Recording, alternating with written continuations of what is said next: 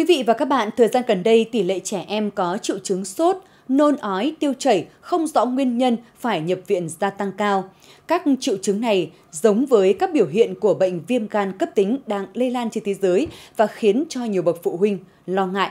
Tuy nhiên, theo các bác sĩ, thì nguyên nhân hầu hết là do các yếu tố như thời tiết, rối loạn tiêu hóa hay ảnh hưởng của COVID-19 khiến cho đề kháng của trẻ em bị suy giảm.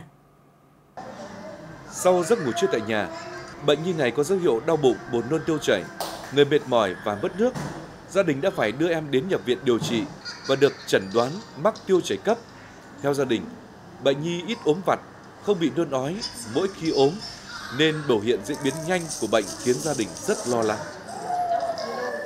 Từ bé là cháu không bị lôn bao giờ cả, thế giờ tự dưng mà cháu lôn mà lôn cứ 5-10 phút cháu lôn một lần thì nhà cháu mới sợ.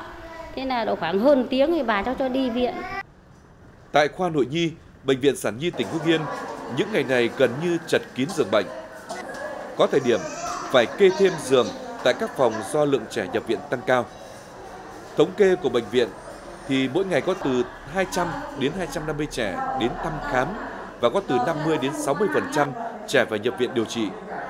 Con số này tăng gấp 2 đến 3 lần so với bình thường.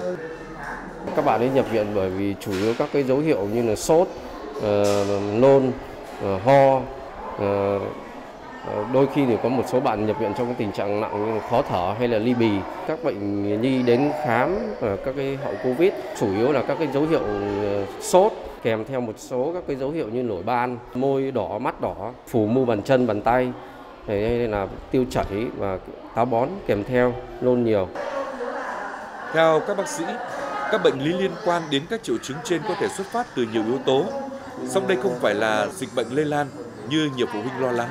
Nhóm các nguyên nhân có thể do trẻ bị ngộ độc hoặc cơ thể mệt mỏi, thời tiết thay đổi hay nhiễm khuẩn do virus gây nên. Ngoài ra, nhiều trẻ em sau khi mắc COVID-19 có sức đề kháng suy giảm và đây có thể là biểu hiện của hậu Covid ở trẻ.